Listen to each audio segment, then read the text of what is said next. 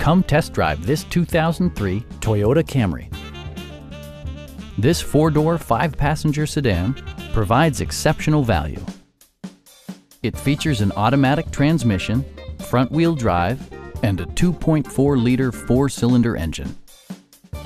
Toyota infused the interior with top-shelf amenities such as one-touch window functionality, a tachometer, fully automatic headlights, and a split folding rear seat. Stop by our dealership or give us a call for more information.